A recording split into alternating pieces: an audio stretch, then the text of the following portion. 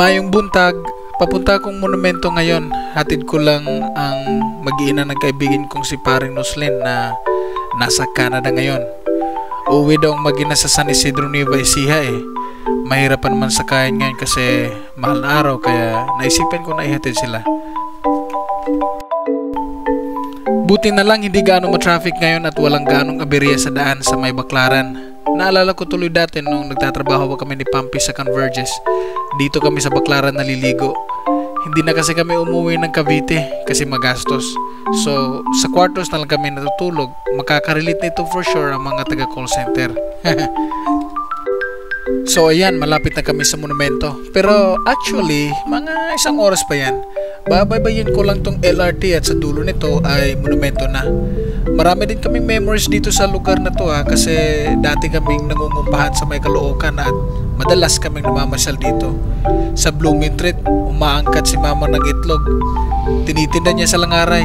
Mahirap ang buhay pero napagkakasya din.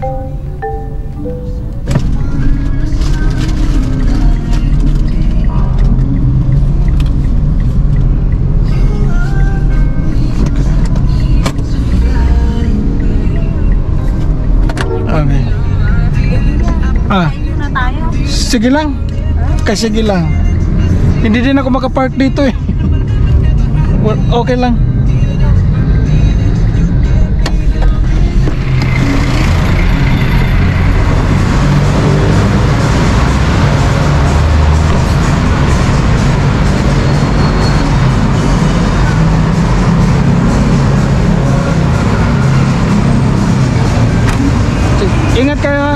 Kuya, sa susunod na lang. Ah, sige lang, sige lang. Ingat. isa. Dito, ah, okay lang. Dito kayo? Oo. Ah, sige. Ingat. Okay.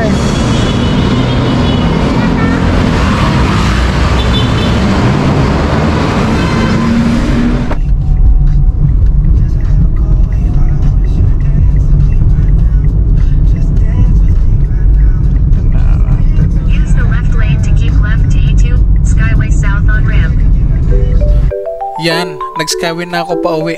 Gusto ko sana mag-skyway kanina kaso hindi ko alam kung saan ako mag-i-exit. And uh, finally, dahil nagutom na gutom na ako, makakain na ako.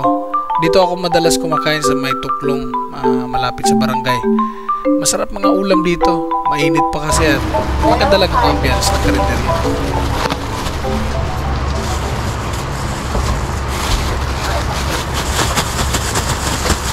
First na kayo order.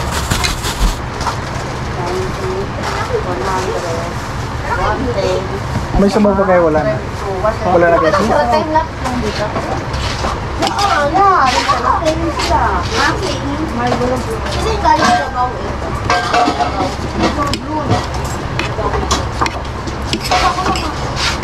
Kala ko na yung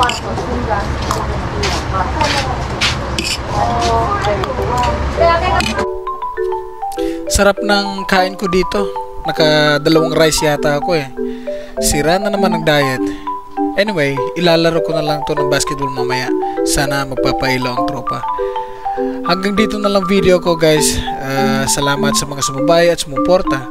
Please don't forget to like and subscribe. Hanggang sa muli. Bye bye.